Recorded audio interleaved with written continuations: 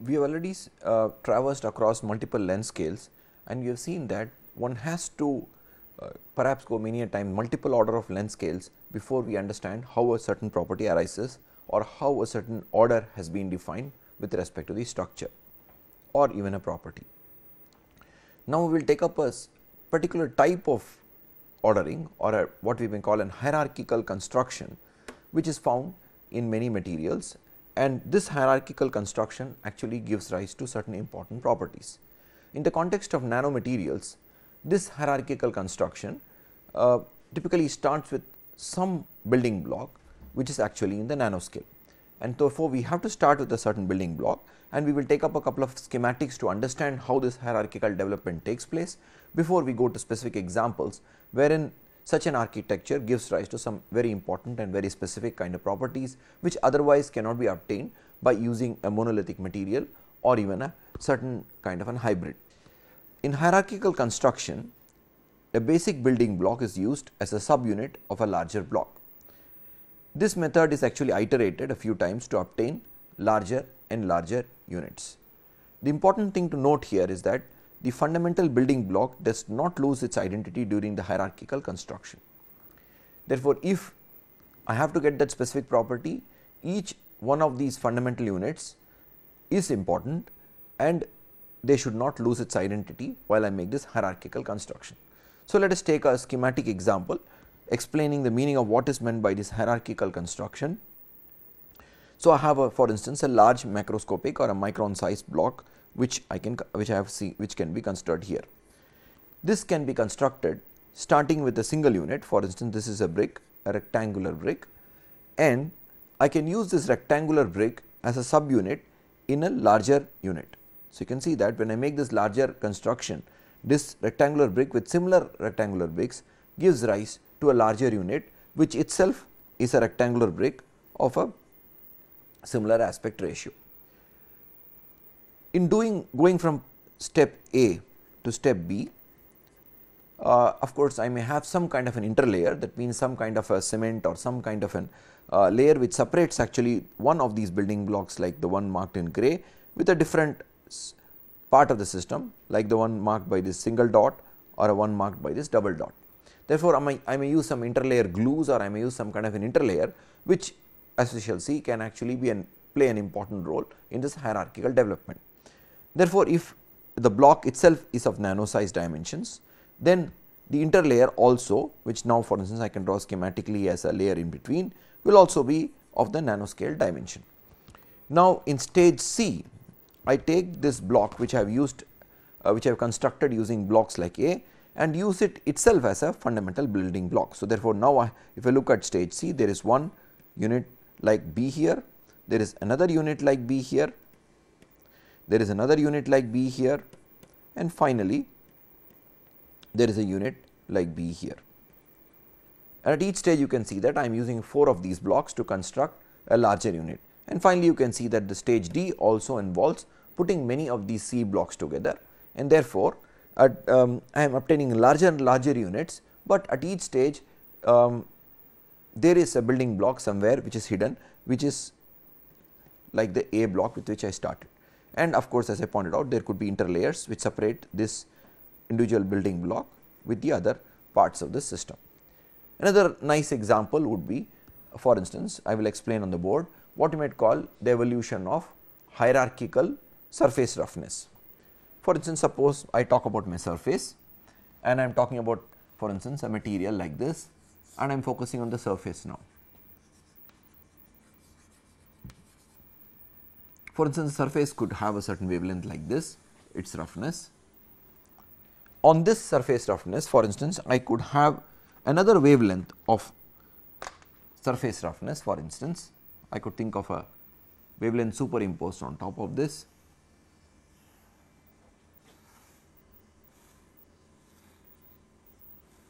In other words, in the presence of this blue surface line, blue waviness, the actual surface will be this. But I need not end my story here. I can go one more level for instance and talk about even finer surface roughness having a even smaller wavelength.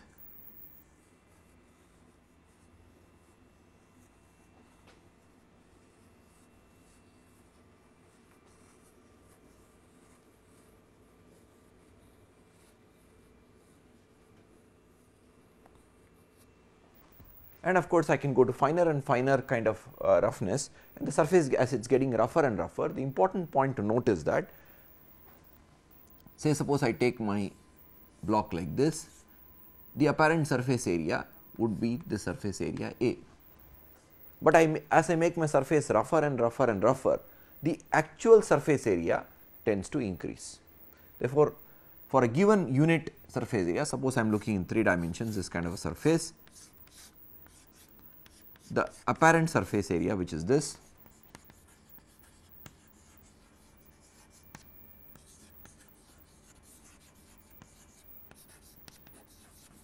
this apparent surface area is constant, but as you can see the actual surface area keeps on increasing as I increase my surface by, uh, by making it more and more corrugated or more and more rough. In the context of nanostructures, at some point of time I would like to put a wavelength, for instance, this red could be a wavelength which is of the scale nanometers. So, I could talk about a wavelength like this which is having a nanometer lies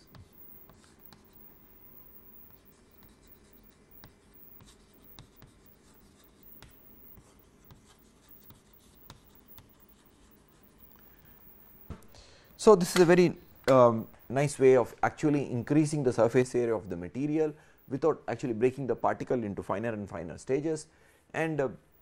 in some sense you can see that the structure is self similar that means I, I look at go to deeper and deeper scale and I find that the surface looks exactly identical at various length scales. If of course, it were a self similar across all length scales then I would call it a fractal. And uh, but in typical systems you would notice that at least there are a few uh, wavelengths which are present when I am talking about a surface roughness.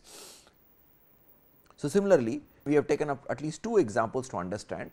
that how we can have an hierarchical development, one of course of a bulk material, one of the surface and in each one of these cases as we shall see uh, there is a certain enhancement in the property which we can obtain and if my fundamental building block or the lowest wavelength in the case of the surface happens to be of the nanoscale then I can uh, clearly see that this comes under the class of hierarchical development of nanomaterials. Now, let us see um, some examples of hierarchical structures and how these hierarchical structures give us some kind of an uh, what you might call extremely uh,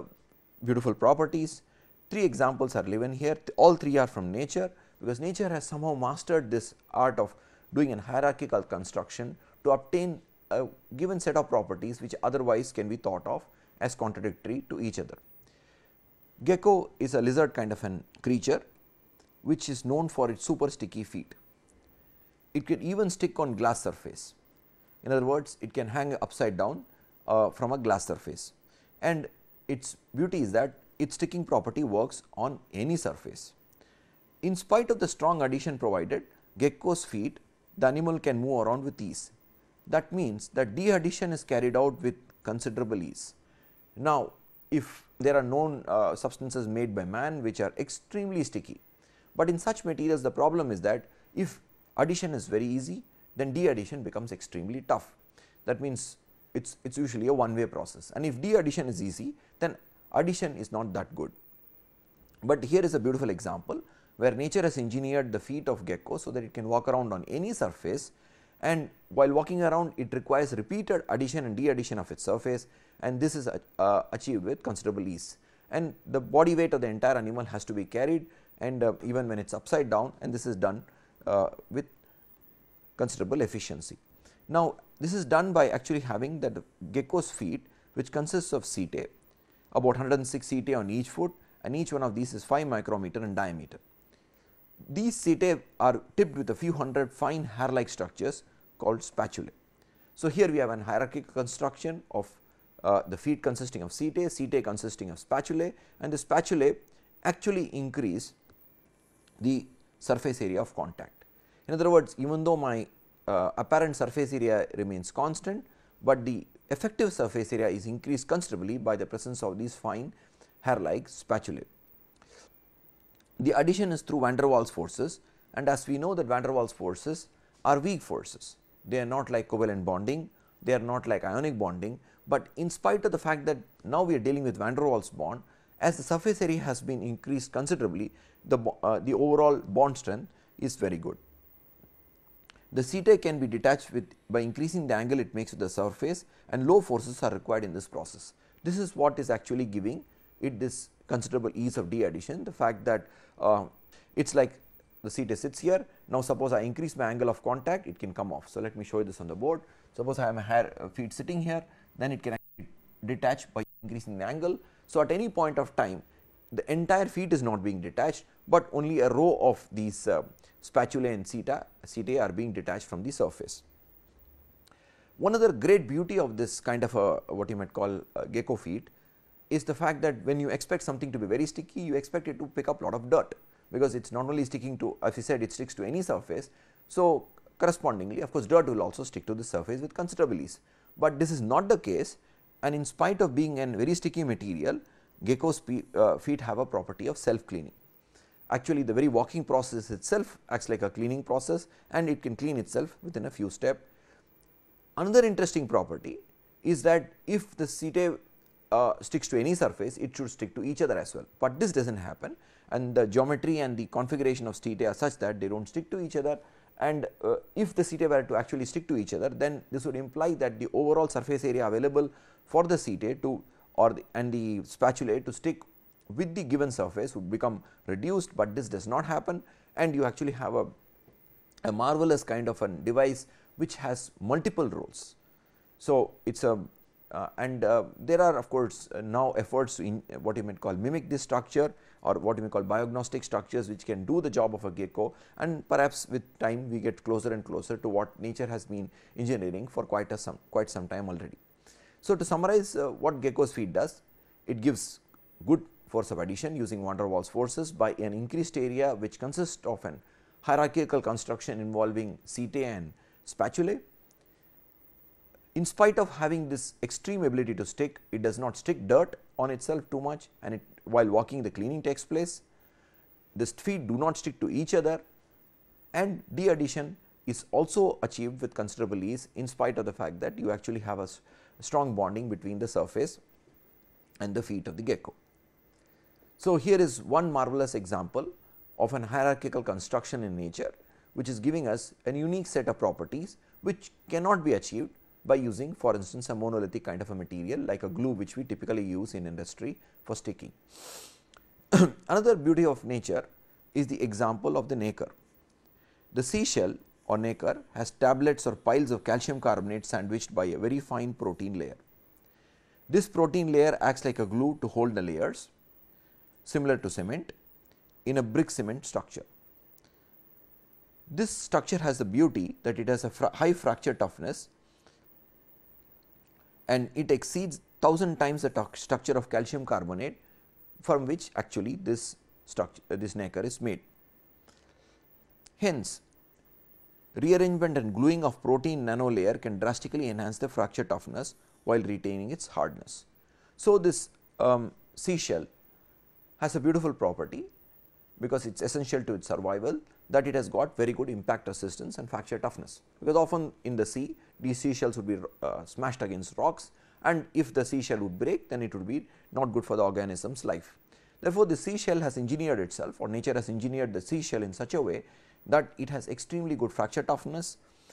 But if you look at the constituent layer, it is actually made of calcium carbonate, which as you know is extremely brittle material. Then how is this calcium carbonate giving rise to this good fracture toughness? This is done in a manner though not identical to this kind of construction, but very similar to this construction wherein you have these calcium carbonate layers and in addition you have these nacre layers which is intertwining these calcium carbonate layers there and we have an hierarchical construction of this and the overall geometry and arrangement of these two layers these nanoprotein layers along with the calcium carbonate layers gives this nacre uh, very good impact toughness. So, so the protein layer performs two functions one it acts like a glue between the two um, bricks of calcium carbonate, but in addition it also provides it uh, what you might call the energy absorption ability which gives it its beautiful impact resistance and fracture toughness. The third example we are considering again for an hierarchical construction giving rise to a specific property is the case of the lotus leaf which we have already encountered before and we have already seen that it has got the property of super hydrophobicity. And superhydrophobicity as we pointed out implies that we are talking about very high contact angles greater than 165 degree. Now, this 165 degree is what we might call the uh, apparent macroscopic contact angle and microscopically if you look at this system things are very interesting and this is happening because of a hierarchical construction as shown here. So, if you look at the lotus leaf now this is at a scale of about 100 microns in a scanning electron microscope you can see that there are these protrusions. So, you can see there are these protrusions which are the white kind of structures here. Now, these protrusions are of course, they have a certain and we would like to call them about uh, micro protrusions. They are about 10 micrometer long, 10 about 10 micrometer high and about 15 micrometer apart as you can see in this kind of a picture. So, these are about 10 micrometer in dimension and they are about 10 to 15 micrometer far away from each other. So, they have a very specific kind of a geometry. So, they are these micro protrusions here. Now, um, it is obvious that uh, the kind of property or super hydrophobicity we are talking about here is with respect to some kind of a dirty kind of water and obviously this kind of a contact angle cannot be achieved for any kind of solution we would like to throw on the material because a lotus leaf is typically has optimized its structure so as to only uh, what you might call get rid of dirty water and not other kind of solvents which uh, we might want to try on this. So, microscopically if you look at this lotus leaf it consists of a fine distribution of micro protrusions which enhance the surface roughness and increase the contact area by a few orders of magnitude. But the structure does not stop there. Further these micro protrusions and the base of the leaf itself have nano hairs and these nano hairs have 80 to 150 nanometer in dimension. So, the heart of this whole hydro super hydrophobicity is a nanostructure and this nanostructure has a dimension of the order of 80 to 150 nanometers. And this is spread over the entire lotus leaf that means it is present on the micro protrusions and also on the base of the leaf making the surface super hydrophobic. Now, uh, as I pointed out uh, let me first show you where is this micro protrusion. So, these hair like structures you can see here. So, these are the micro protrusions and then you can see that there are hairs on the base here and also hairs on the uh, micro protrusions and if you look at the water droplet it is actually being not supported by on directly on the leaf lotus leaf surface, but it is being supported by these um, nano hairs and this uh, is what is actually leading to finally to the fact that macroscopically we can achieve a contact angle which is in excess of, of even about 150 degrees. So, this uh, kind of a construction you can visualize as some kind of an analog of the what you might call the surface roughness which we had considered. Of course, this is not a very simplistic kind of a surface roughness which was a schematic analog which I showed here. This consists of a very specific kind of a structure and this uh, structure as you might uh, imagine um, has to perform other roles apart from of course being super hydrophobic because a leaf is a you know a living entity and uh, the leaf surface has to perform other roles like photosynthesis extra and this structure which is making it super hydrophobic cannot interfere with other roles of the leaf and this is what this beautiful kind of an hierarchical structure consisting of micro protrusions and nano hairs does. So, we have considered a few examples and we have seen that um, uh, hierarchical construction uh, is found in many places in nature and the beauty of this hierarchical construction is that it gives rise to a combination of properties which otherwise cannot be obtained by what you might call a monolithic construction or a single length scale construction. Now, um, we have asked this question implicitly uh, a few times before, but let us now explicitly list out uh, that why we need to go to the nanoscale. And this listing is important because often uh, uh, our research and our effort should be directed in such a way so as to get the maximum benefit out in terms of properties and performance. We should note that certain structures like fullerenes, carbon onions etc., and carbon nanotubes exist only in the nanoscale. There is no bulk counterpart to that and therefore, we have to go to the nanoscale if we had to study these structures and utilize them. So, clearly there is a very strong impetus to go to the nanoscale certain properties arise only in the nanoscale. Again it, that implies that there are no bulk counterparts to these properties Uh, we have already talked about a few of these for instance super hydrophobicity, super catalytic activity, super paramagnetism, giant magnetoresistance etc. And we have noticed that actually there is no bulk counterpart to these properties and this implies that we have to go to the nanoscale to exploit and bring out these properties. An additional factor could be that certain combination of properties can be only obtained when we go to the nanoscale. And we have already seen for instance, in the abalone shell it has got good fracture toughness reaching more than 100 times that of the calcium carbonate while still retaining its hardness. Typically we note that if a material is very tough that means it is very ductile and usually less hard. But here you have an extremely hard material which has been engineered which is also retaining the usual hardness. So, and we have already seen some more combinations like this and we will encounter more of such combinations as you go uh, into various uh, topics in this course, but we have to note that it, it, may not be the individual property which is unique, but the combination could be unique as you go down to the nanoscale. And this combination is what gives uh, for instance, the component um, its application and its performance in an actual service. There could be drastic change in properties as you approach the nanoscale. We know that for instance, we already seen that when you go down in grain size in an uh, nanostructured or nanocrystalline polycrystal, you actually increase the hardness of the material. But, but this increase in hardness is a more what you might call um, at the macro scale or the micron scale is actually a gradual increase. But if you want to really see drastic increase that means increase of a few orders of magnitude or at least a factor which is making it worthwhile to study these materials, such may, uh, may start happening only in the nanoscale. For instance, fracture toughness strength of nickel has been shown to increase from 100 MPa to 900 MPa once nanometer size grains have been achieved. So, the fracture strength can be increased and now it is happening only when you go down to the nanoscale. Similarly, there are other properties we will see for instance, adsorption of gases, uh, and we will actually make a calculation to show that how the surface area increase is going to give us a drastic increase in the amount of gases which can be absorbed on the surface. So, this implies that we have to here there is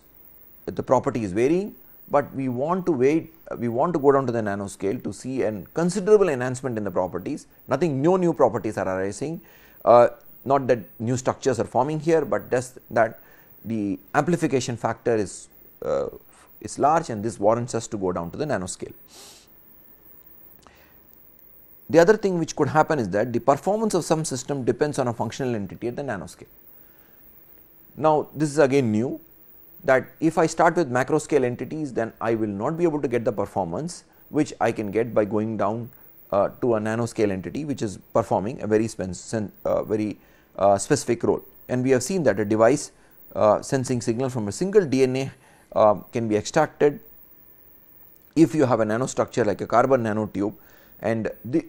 whose electrical output is what we are studying. Okay. So, that means that if my if I have to extract a signal from a single DNA then obviously my sensor or my probe has to be of the same length scale. I cannot use a macro probe then uh, which will actually average out my signal across many uh, cellular structures which is what not my goal and if I have to do this then obviously my uh,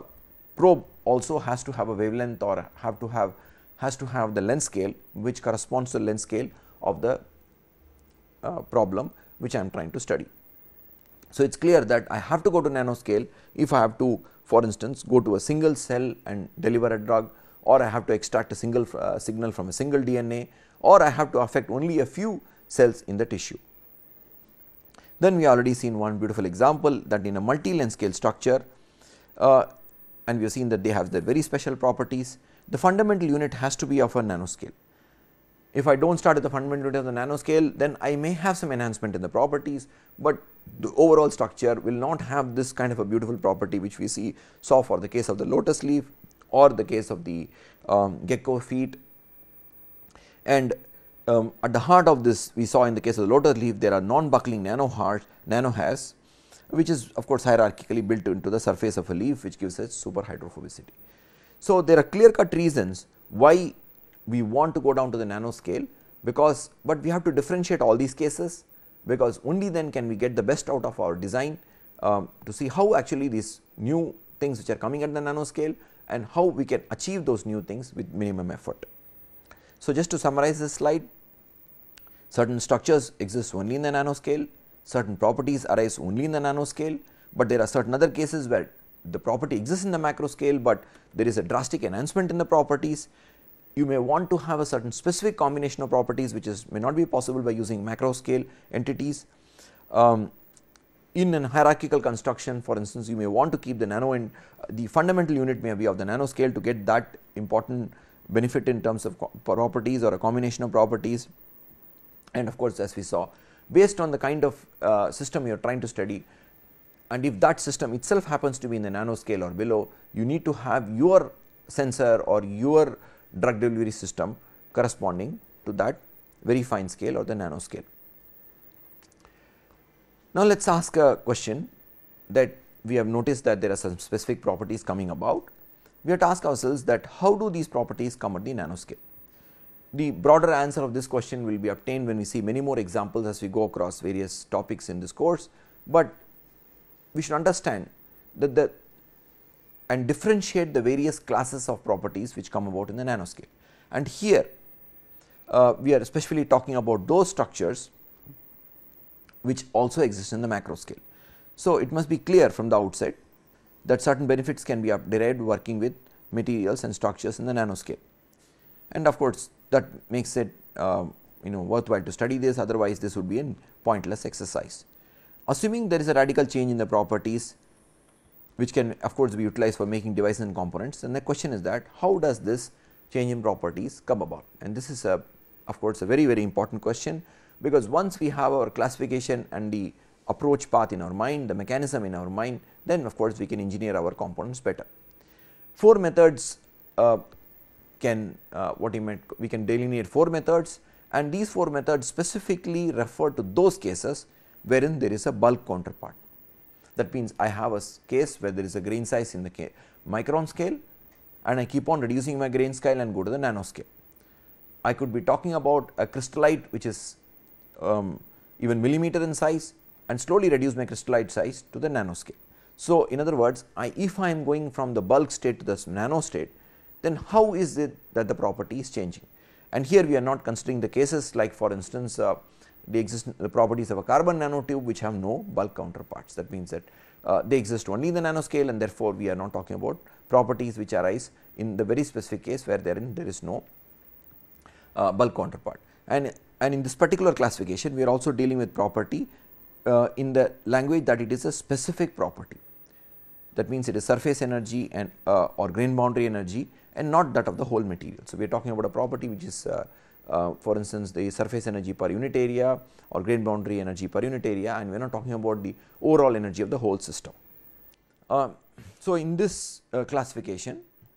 we will see that there are four possible methodologies crudely speaking that you have a change in size that means you are reducing the size and simply this may lead to a change in performance. This is what you might call the trivialist way of understanding or trivialist case by which a new or an enhancement in performance comes about. Of course, this a simple way to understand is that suppose I have a, a material and I keep dividing the material into smaller and smaller pieces as we had considered, we see that the surface area is going to increase and for now assuming that the surface energy per unit area is not changing much, then in spite of the fact that there is no change in the specific property, we see that the overall amount of gases that such a surface can absorb will going to increase and therefore, you will have a change in performance. Here there is no great change in mechanism or any one of those very interesting scenarios which take place and this is at least what you expect from what you might call um, reducing the bulk crystal to a nano crystal or a bulk system to a nano size system. That means, this is guaranteed to take place for you because now you um, have reduced the 11th length scale and in spite of the fact that there is nothing interesting happening you are still getting a change in performance. The other end of the spectrum is a case A wherein the change in size leads to a change in structure and we will have a comment to say about what the structure we are referring to here. This can lead to a change in mechanism which is operative in the system. This can further lead to a change in property and of course, whenever there is a change in property this will lead to a change in performance of the component or uh, the specific device or the specific material we are considering. In between the case A which is shown here and the case D there can be other scenarios like a change in size may not lead to a change in structure, but can directly lead to a change in mechanism. This change in mechanism will uh, most probably lead to a change in property and finally, of course, this will lead to a change in performance. So, this is a another pathway which can lead to a change in performance. Case C is a change in size leads to a change in property directly that means there is no change in mechanism and this can lead to a change in performance. Um, so, to summarize this uh, rather complicated looking table um, or a complicated looking flow chart, there are four possible scenarios with a sub scenario which is also been marked as A prime. So, in case A the change in size leads to a change in structure which leads to a change in mechanism which can lead to a change in property and finally, a change in performance. The other end of the spectrum involves a change in size directly leading to a change in performance without any change in structure, mechanism or property. Intermediate between these two is a change in size leading to a change in mechanism which is leading to a change in property and finally to a change in performance. So, but in some cases it is possible that a change in size leads to a change in structure, but still there is no change in mechanism and uh, that means that I can directly jump from stage 2 in the classification A to a stage 4 which is now a change in structure leading to a change in property which is leading to a change in performance without actually involving a change in mechanism. So, in this case we have used a word structure, we have used a word mechanism and of course, we have already defined what we mean by a property. So, the structure being referred to is usually the crystal structure and uh, however, if one wants to um, you know relax this condition and the scope of applicability of this kind of a flow chart, then um, other kind of structures like defect structures or microstructures could also be brought into the sco scope of this classification. The phrase change in mechanism usually implies a drastic change, change in mechanism for instance of plastic deformation from slip to twinning or from slip to grain boundary sliding. However, minor changes like slip change system uh, which is truly not a change in mechanism can also be brought under this category. But while listing the change in for instance mechanism we may want to say that for instance uh, when you had a macro scale system it was slip dominated by uh, or plastic deformation dominated by slip. And when I went to for instance a 50 nanometer grain size it could be actually be slip dominated by grain boundary sliding or slip dominated by twinning. Therefore, there is a clear cut change in the mechanism by which plastic deformation is taking place, but however it could so happen that uh, when you go reduce the grain size additional kind of slip system slip systems may be activated, but this is not what we might call in uh, principle a change in mechanism, but this may be listed um, somewhere under the category of change in mechanism. Um, it should also be noted that when fundamental studies are carried out say on single nanoparticles, primary focus is usually to look for fundamental change in mechanism or properties and attention is usually not paid to performance in these studies. This is an important point to note because sometimes um, you have a single particle on which the entire test is carried out. For instance, you may have a nanoparticle which is 50 nanometer in size and you may carry out compression studies on these particles. And therefore, what you get out of such a study could be a property like an elastic modulus or it could be a stress at which, at which dislocations are nucleated in this system. And here we are not specifically talking about the performance of say a nanoparticle like this in the making of a say for instance a MEMS device or a NEMS device. So, this is sometime very carefully has to be carefully kept in mind that there may not be a uh, report in literature of the kind of performance we are expecting from this kind of a uh, property uh, and we have to at that stage for instance put in our thinking into understanding that how if given this that these particles have these kind of a property what kind of a performance I can gain by using these particles. Because often when such particles are put together to form a component there may be a synergistic effect or of course there could also be a problem with respect to a uh, what you may call a destructive interference in the between the particles giving rise to a loss in property which we had observed for a very single for instance single nanocrystal. So, um, here we are to summarize this slide here we are talking about those properties which do not or those structures and those uh, cases wherein there is a bulk counterpart and obviously we are excluding those which have no bulk counterparts. And um, the property we are referring to is a specific property and we want to see how this specific property finally giving rise to a change in performance is achieved and this classification helps us mentally to work out you know for instance uh, um, work out and engineer the material so as to get the required change in properties on performance. So, let us take up a few examples to see and maybe we will revisit this topic later on that how change in crystal structure takes place when there is a reduction in size. That means, we all know that there is a certain bulk crystal structure which is stable at a given temperature and pressure uh, and here we are talking about not change in temperature or pressure to achieve these new crystal structures, but typically uh, we are talking about a change in reduction in size. So, purely this is a size dependent phase transformation or a change in crystal structure and that means that at small sizes certain other crystal structures may become stable purely because of size effects. But additionally uh, we may want to subject these uh, uh, small scale crystals or small scale structures uh, or reduce dimensions uh, structures to pressure or change in variations in temperature to see how these kind of materials behave. This crystal structure of bulk system materials could be very different from that of the nanocrystals. Two important effects may be observed on reduction of crystallite size. One of course, is a change in crystal structure itself which is of course, a drastic change. The second possibility is an anisotropic lattice distortion which is um, a direction dependent change in lattice parameters leading to change in symmetry of the crystal. Um, so, we, there are two possibilities one is change in crystal structure second in change in lattice parameter. This change in lattice parameter additionally could be anisotropic that means the change along one direction in lattice parameter could be different than the change in the other direction. The second effect which is the change in lattice parameter or anisotropic lattice parameter is actually a subtle effect as compared to one which is a very drastic effect and can have profound effect on the properties of a nanocrystal. In metallic nanoparticles the dominance of surface tension effects is expected to lead to a contraction of the lattice parameters. That means that in metallic materials the surface uh, which is now the seat of the surface tension can lead to a contraction of the lattice parameter and therefore, this is the direct cause for reduction in lattice parameter. In non-metallic materials, uh, the situation could be very different from metallic particles and these non-metallic particles we are referring to are those which are which have a polar surface and in unlike the metallic particles there may be an expansion of the lattice parameters and this has been observed in the case of gamma Fe 2O3 and for this effect to be a, become a prominent effect typically we have to reduce the crystallite size to the nanometric length scale.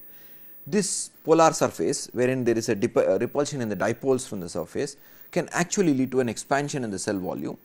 with a decrease in size. So, this there are two distinct effects when you are talking about um, surface tension and its role in uh, what you might call the lattice distortion or the lattice contraction or lattice expansion. Uh, one of course, that the lattice expansion could be uniform or isotropic, in some other cases the lattice expansion could be anisotropic. In the case of metallic particles, you could have uh, it is metallic particles at nanometer length scale are dominated by surface tension effects, wherein you actually observe a contraction in the lattice parameter. But in specific examples like gamma Fe2O3 which have a polar surface, uh, when you are talking about 55 to 30 nanometer crystallite size, actually there could be a lattice expansion which is now caused by the polar surface wherein the dipoles tend to repel each other. So, let me show this schematically. So, suppose I have a metallic surface in which there are atoms and the surface itself wants to contract itself to reduce the surface energy because the atoms sitting on the surface have a higher energy and this is the origin of the surface tension. And this surface tension effects can lead to a lattice parameter contraction. Now, we know in nanoparticles the overall uh, surface area is uh, or the surface to volume ratio is very large. But suppose I am talking about a polar molecule with actually dipole electrical dipoles on the surface. Now, these dipoles will tend to repel each other and this repulsion implies that actually we are talking about an effect which is something like surface contraction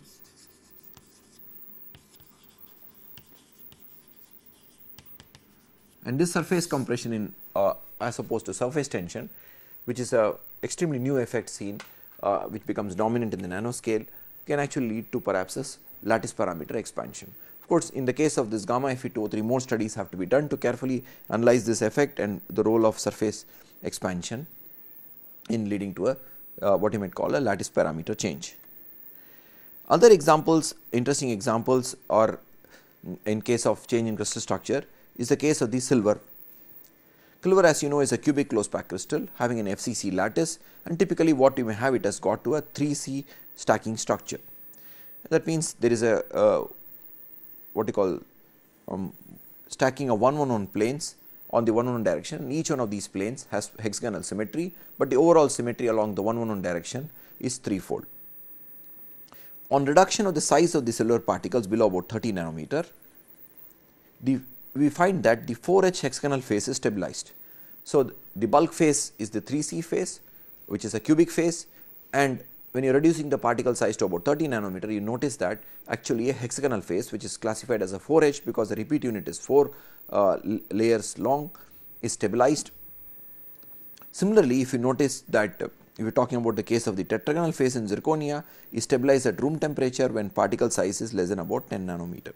So, we have taken up a few examples here number 1 is of bulk silver, number 2 is a case of zirconia wherein typically at, uh, you find that if you are taking bulk zirconia the tetragonal phase is metastable at room temperature, but by reducing the particle size to about 10 less than about 10 nanometer uh, we can actually stabilize the tetragonal phase while the actual bulk stable phase is the monoclinic phase. And we have noticed that this partially stabilized zirconia is uh, in the uh, metastable structure is in the case of bulk materials itself is responsible for the transformation toughening effect. The third example is the case of the alpha Fe2O3. When the crystallite size is above 13 nanometers, alpha Fe2O3 with rhombohedral structure is stable but between 5 and 30 nanometer the cubic Fe2O3 with an inverse spinel structure is stable, but this is not the end of the story. When we actually go down to even smaller sizes like less than 5 nanometer, we find that the amorphous phase has been stabilized.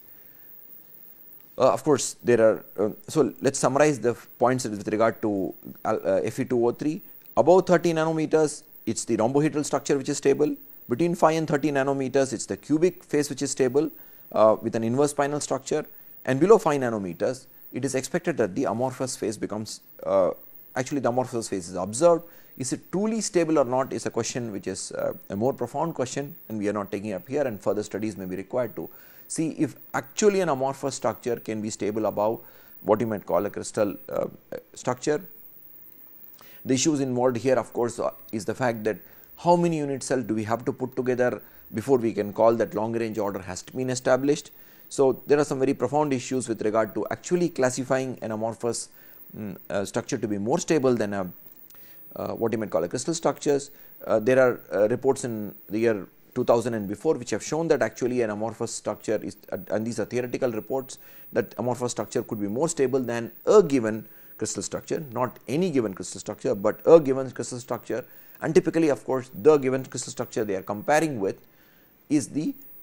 crystal structure which is stable in the bulk form. Therefore, from these examples we can clearly see that there is a tendency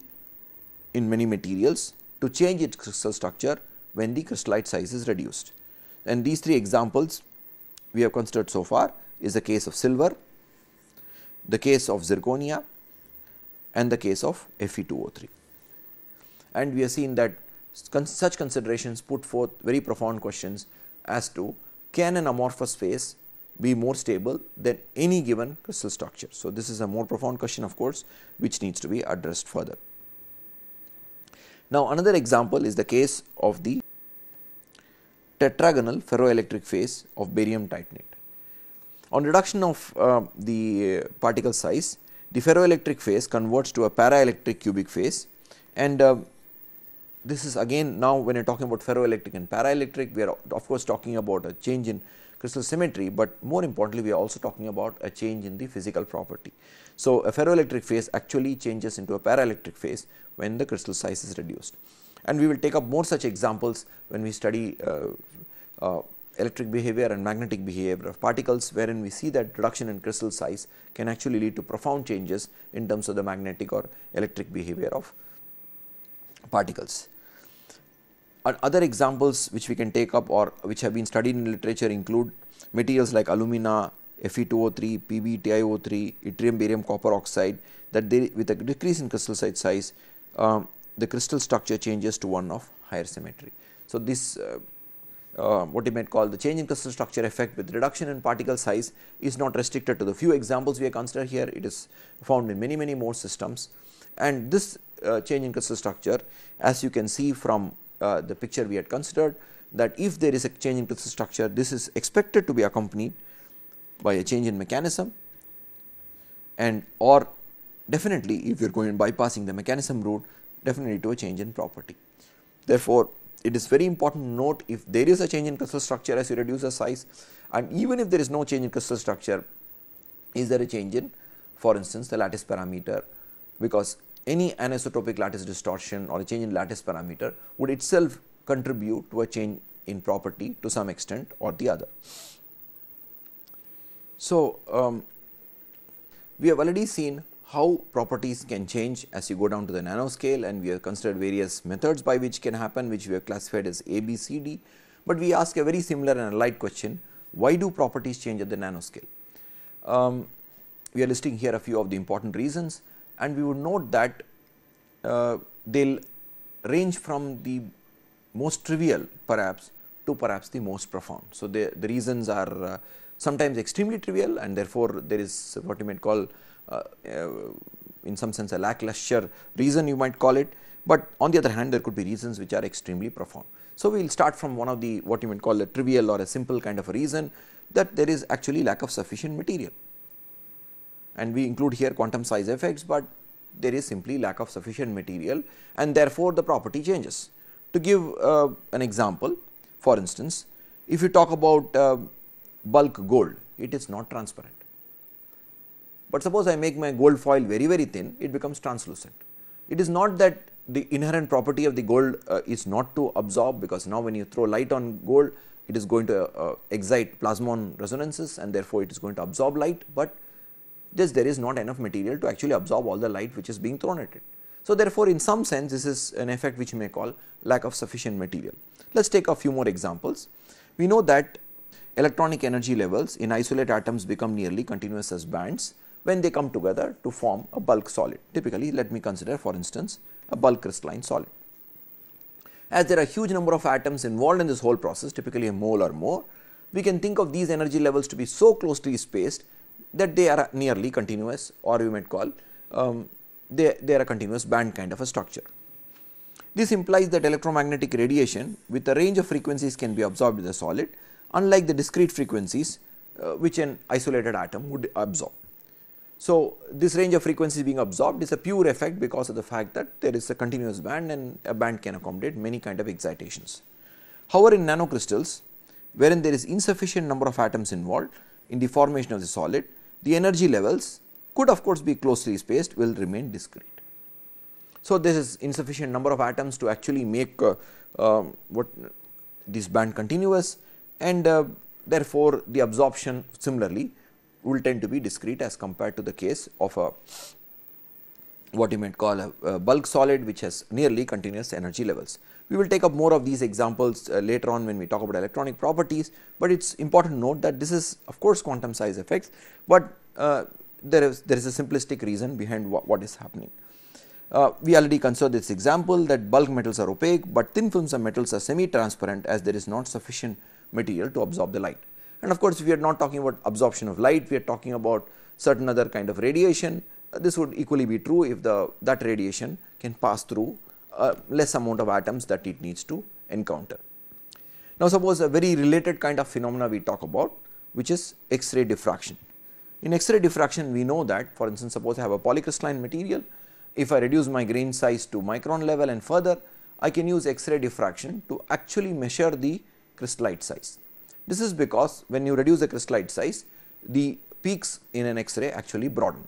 course, peak broadening can come from other effects like for instance strain, it can come from stacking faults, it can come from what you might call instrumental broadening etc. But now for now I am restricting myself to the peak broadening which is coming from X-ray uh, what you might call uh, the crystallite size. And we typically use the Scherrer's formula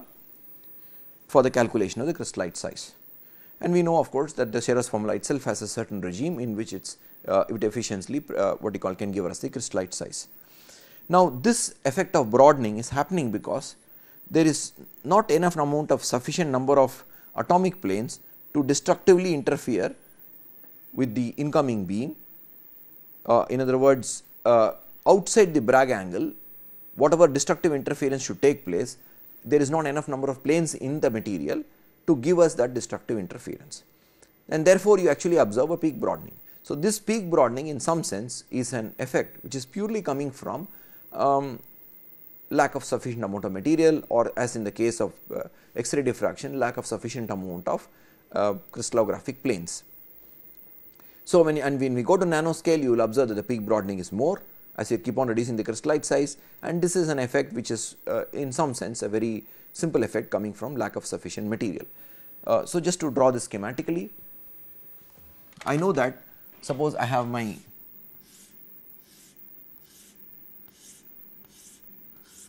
atomic planes coming here. I know that if I am sending a beam at that Bragg angle, then I know that this beam will be diffracted. That means that at this angle there will be coherent reinforced scattering and at any angle which is away from this angle for instance an angle like this or an angle like this there will be destructive interference. But for this destructive interference for this beam the plane which is out of phase with the topmost plane actually lies deep within the crystal. The closer you get to this Bragg angle, the farther down will be that plane which destructively interferes with this beam to get rid of that beam. But suppose I truncate my crystal here, that implies that not only this beam will continue to exist, but there will be a range of beams around it which will continue to exist. In other words, in my 2 theta versus intensity plot, instead of obtaining a sharp peak or more ideally a delta peak, I would actually ob observe a broadened peak. So, this broadening which is given by the full width half maxima comes from the fact that there is insufficient material to destructively interfere and therefore cancel all the rays which are of Bragg angle. Therefore, I can see that there are uh, uh, sufficient number of phenomena or a certain kind of phenomena which can simply be explained by the fact that there is insufficient material and therefore, you are getting certain uh, what you might call uh, different properties in the nanoscale and this should not be confused with those more profound properties which we will come across or those more profound effects which we will take up soon. the second kind of properties which we have uh, which is again to be expected and we have already seen some examples of these uh, is the dominance of surface and interface effects. We know that the surface layer is a disturbed layer with high energy which is a high energy region which can undergo relaxation and reconstruction. So, the surface layer because it is an high energy region to reduce its energy it may undergo relaxation because of lack of bonding in the perpendicular direction and also it, in some cases like silicon it may actually undergo a process known as reconstruction. That means the surface crystallography could be very different from the bulk crystallography. Impurities insoluble in the bulk will segregate to the surface and gases may also adsorb on the surface. Therefore, maintaining the surface pure in most cases is actually a difficult task. In bulk materials, the surface is but a minor fraction of the material and can be ignored under most circumstances. It is not that in bulk materials the surface is uh, very different from or may not be very different from uh, nanomaterials or nanocrystals, but the point is that it can be ignored safely without uh, you know causing much uh, difference to the result we are calculating.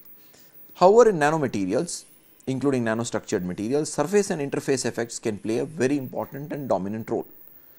The so called surface actually may be become a large fraction of the material because surface is we are when we are talking about a surface we are not restricting ourselves to just the monolayer on the surface, but sometimes what we are defining as the surface could be a few atomic dimensions into the crystal. So, when you are defining a surface of course geometrically the surface implies the outermost layer but suppose I am talking about relaxation and reconstruction I may want to go a little deeper and actually talk about a few atomic layers.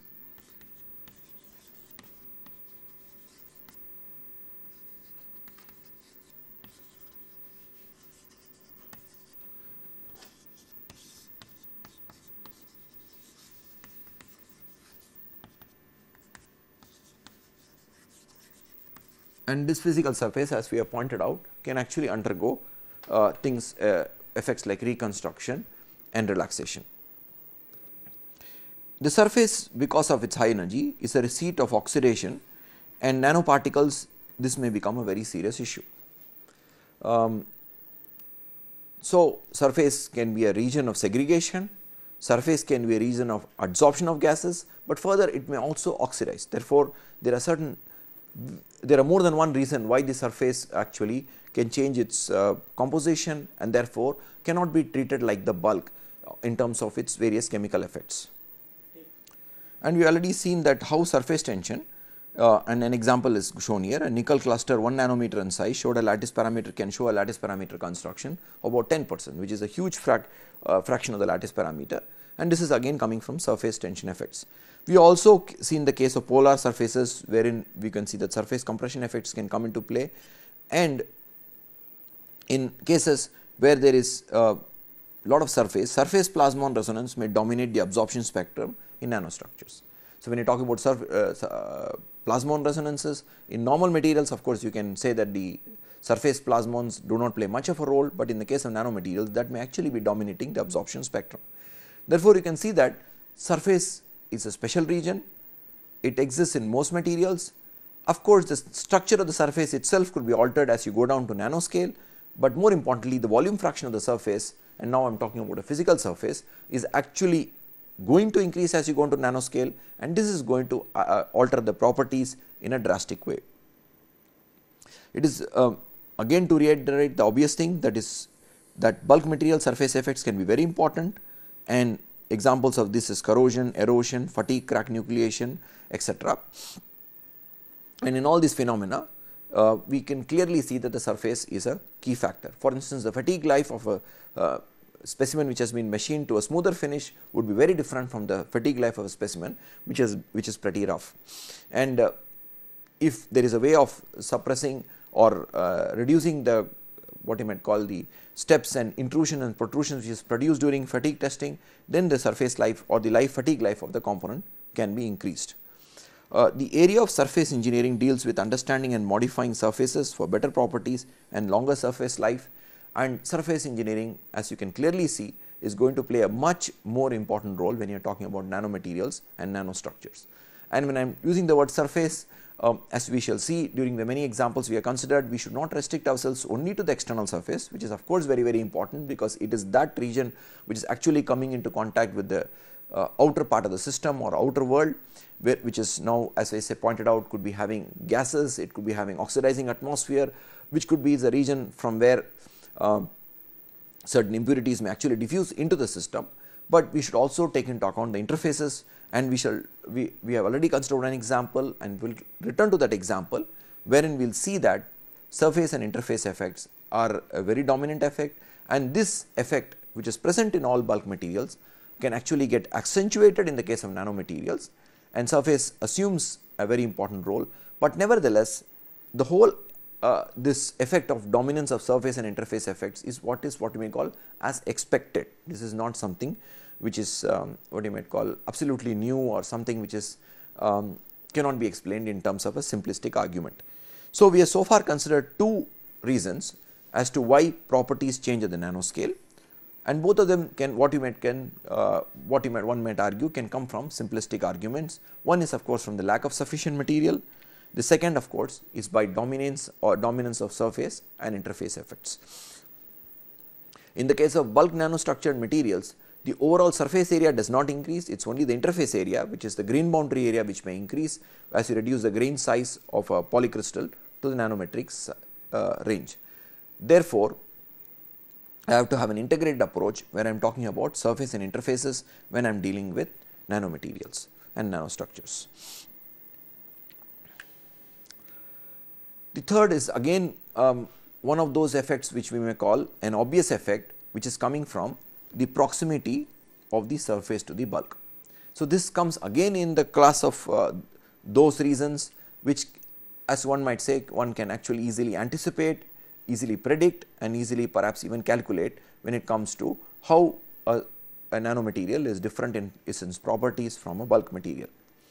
Uh, this proximity of surface to the bulk implies that any stimulus applied on the surface is automatically felt by the entire material. So, this is a very special case and this is not restricted to the surface. Suppose I am talking about photochemical reactions in translucent materials,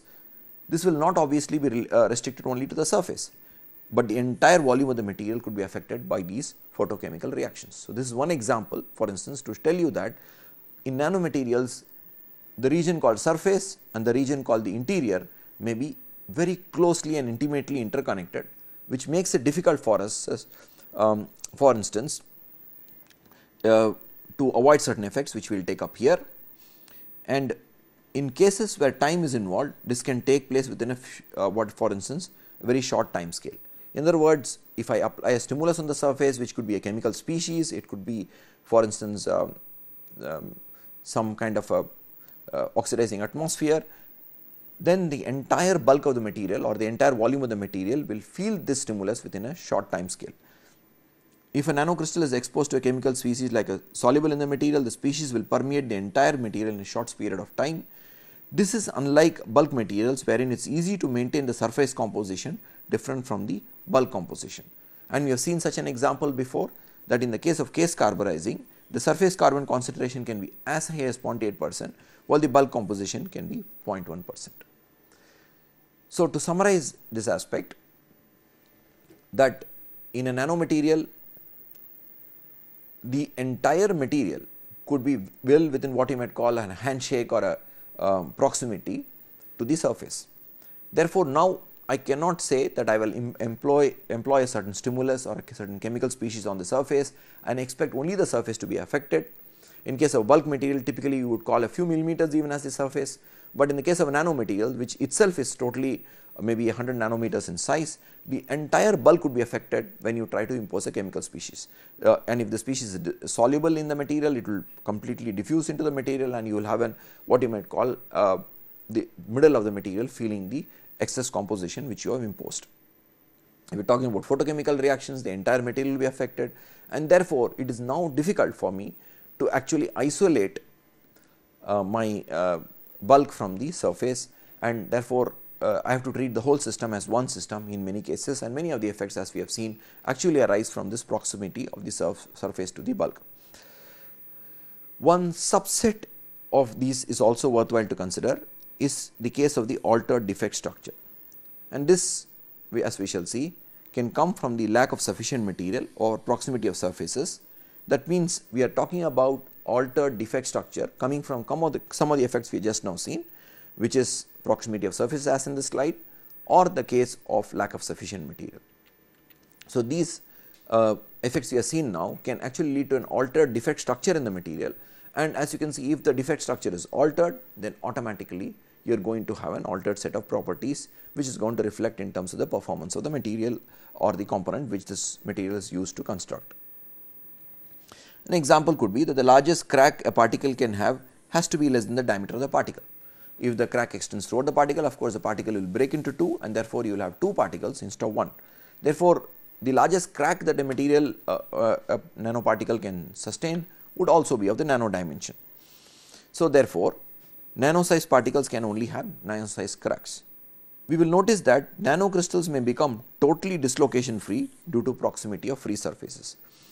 We will take up this topic later on in a little more detail, and here dislocations will be attracted to free surfaces by image forces and when this image force exceeds what is known as the inherent lattice friction of the material which is otherwise called the Peierls stress, dislocations will spontaneously leave the crystal. Very small size crystals may even not support vacancies. That means, vacancies will cease to be a thermodynamically stable defect in nanocrystals. So, this may also happen and we will have a little more to say about this topic of altered defect structure um, uh, in one of the coming lectures. But important point is that because of lack of sufficient material or because of proximity of surfaces, you actually may have an altered defect structure and one of these for uh, for instance the lack of sufficient material would lead to what you might call a reduced configurational stabilization of a of a vacancy and therefore the crystal nanocrystal may become completely vacancy free and proximity of free surface could imply that the image force experienced by a dislocation may actually exceed the Peierls stress and the system may become spontaneously dislocation free. So, these interesting effects uh, are arising because of what we just now talked proximity of the bulk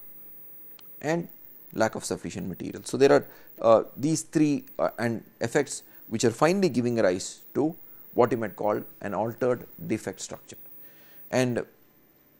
when we defined microstructure, we, uh, we said that microstructure sensitive properties are going to be sensitive to the defect structure because my, my defect structure is part of the definition of microstructure in our scheme of things and therefore, you would notice that those properties would drastically change when you alter the defect structure. But there are other reasons and uh, this is an alternate way of looking at the same problem and in some sense some of these can be thought of as profound effects that wherein one or more of the physical length scale of the problem becomes comparable to the geometrical dimension of the system. So, suppose I have a crystallite size, then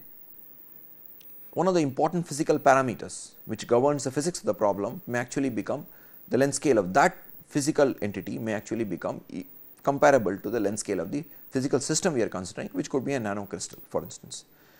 There are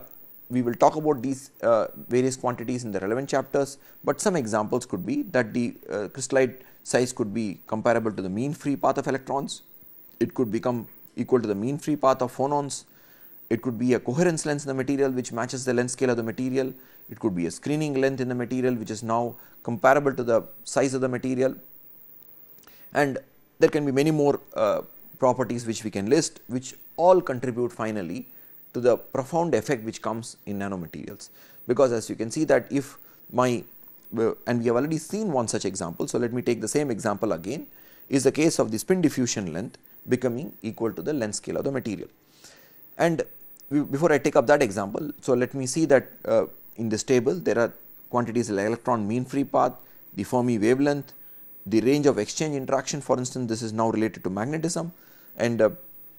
this is a very important quantity and we can also talk about the exchange length in magnetism and there is a typical length scale associated with these physical properties. For instance, the electron mean free path typically varies between 1 and 100 nanometers. The Fermi wavelength is a much smaller number numerically. Um, in semiconductors of course, the Fermi wavelength could be larger. In the case of exchange interaction again it can range from 0.1 to 1 nanometers. In the case of uh, exchange length in magnetism it can have a wide range from 1 to 100 nanometers. So, when my particle or crystallite size starts to approach any of these dimensions and of course, if I am talking about magnetic material I would worry about some of these effects here. When I am talking about conductivity I would worry about the electron mean free path. Then I would see that my properties are going to drastically change when I go to the nanoscale. At the heart as you can see here are more profound effects here because the fact that now uh, I am not merely saying the material is becoming smaller,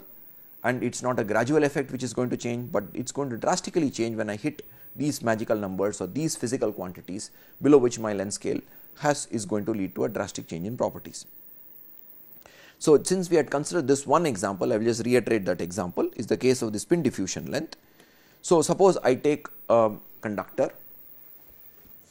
on the right hand side, this is a normal conductor and this is now a ferromagnet and I pass current from left to right. So, what would happen is that the current which comes would be spin polarized into the material. So, I have a spin polarized current which is entering this material, but because now this is not a magnetic material, the spin memory of this uh, uh, spin polarized current would die down and after a few scattering events and therefore, after some time this would not be a spin polarized current. So, you have you after a certain distance which is now my spin diffusion length, I would have a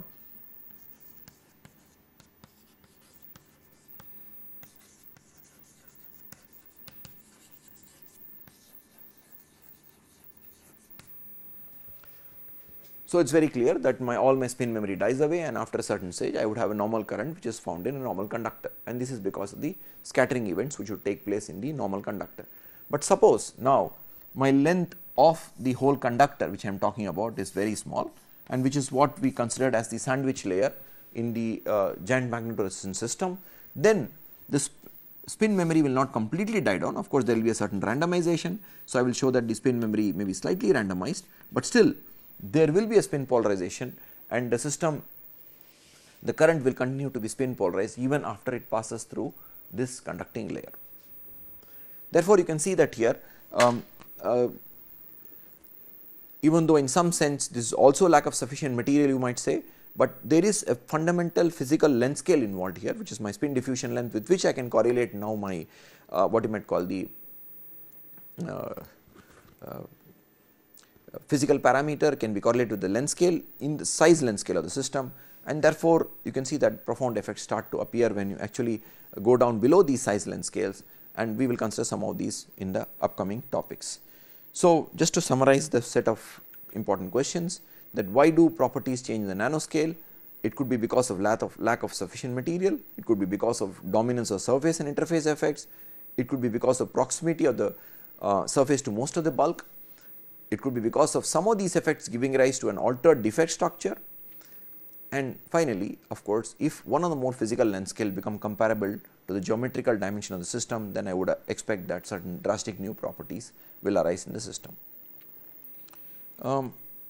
we have been actually listing some important reasons why the property could change, but one other extraneous kind of a reason also is worthwhile considering here, though truly speaking this is not in the same class of reasons which we have now talked about, this is because when we actually uh, for instance uh, uh, synthesize or manufacture some of these nanoparticles or nanocrystals or nanophase materials, they may not be freestanding and they are often embedded in or supported by some other media. So, even though for instance, I want to use gold nanoparticles for a catalytic application, I cannot have freestanding gold nanoparticles because this will be carried away by the medium and I would like to embed them on a surface or actually support it on a surface uh, or a second medium which is a substrate and this is essential for its uh, being continuing to uh, be part of the system and act like an effective catalyst. Now, some of the reasons why we other reasons why we want to do it is to avoid coalescence of the particles. Suppose I put together gold nanoparticles, they will coalesce and actually uh, they will may grow with time and actually not lead to a um, the grain size may become larger than the nano crystals with which we started. The second reason of course is that the particles may be synthesized in embedded form for instance when you are talking about nanocrystals from an amorphous matrix it may be produced by crystallization of the amorphous matrix and therefore it is by design or by default uh, um, embedded in an amorphous matrix. So, it is not a freestanding nanoparticle and therefore, I cannot avoid uh, or cannot avoid taking into account the effect of the matrix or the effect of the supporting medium and sometimes as we shall see as we already seen that this effect of the supporting medium actually could be positive. One good example of the support structure that we have seen is the case of the gold nanocrystal supported on a substrate which could for instance be a titanium substrate for catalysis. Particles with high interface perimeter show a higher catalytic efficiency. It is to be noted that bulk gold is not catalytic at all. So, we have seen this example before that gold in the nanoscale can become uh, can show good catalytic activity and in fact, it can be a very good specific catalyst for a certain kind of reactions. But the role of the substrate or the supporting medium cannot be ignored here. It is seen that those particles which have a larger perimeter of support for instance, suppose I had two gold particles one like this or let me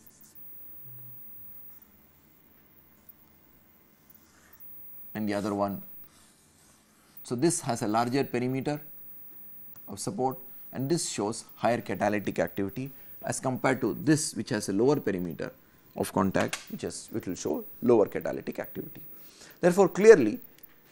yes gold is becoming catalytic at the nanoscale, but the role of the interface or in the support structure is also playing a very profound role in the whole property. Another nice example is ferromagnetic behavior of thiol coated gold nanoparticles and we are talking about gold nanoparticles of the size of about 1.4 nanometer. The gold sulfur bond at the interface between the gold nanocrystal and thiol is postulated to be responsible for this effect. So, uh, you do not expect gold to be ferromagnetic, neither is thiol ferromagnetic, then how is this that this combination of gold and thiol is becoming ferromagnetic? So, it has been postulated the gold sulfur bond is actually at the interface is responsible for that and uh, therefore, you can see that the interface itself which is of course coming from the way uh, uh, the gold is dispersed in this thiol is playing a very important role in the emergence of a totally new property because gold is normally diamagnetic and this embedding is giving it is ferromagnetic behavior. So, absolutely new properties can emerge there can be enhancement in properties as in the case of the catalytic activity. And one more example we would like to consider here is the Curie temperature of 1 nanometer cobalt film deposited on copper 1001 substrate can be lower than that for bulk crystals. And at a certain thickness the film starts to behave like a 2D system. So, um, in this case again um, the cobalt film is influenced by the copper substrate and uh, if of course I am talking about an epitaxial film then the epitaxial stresses would further influence the way this magnetism is going to be present in this material. But nevertheless in all these systems you can see that um, you are having a support medium because it is difficult to produce a 1 nanometer cobalt film as a freestanding film. It will tend to warp and it will not be a flat film even. And uh, it may be difficult to study its properties as a freestanding film. And typically therefore it is on a substrate or on a support medium. And this support medium could actually be influencing the properties of the system as a whole and this may have to be taken into account when you are talking about properties of a material or properties of the nano uh, scale system and as you can see this is not truly a property of the nanocrystal itself, but a property coming some in some sense from an extraneous reason.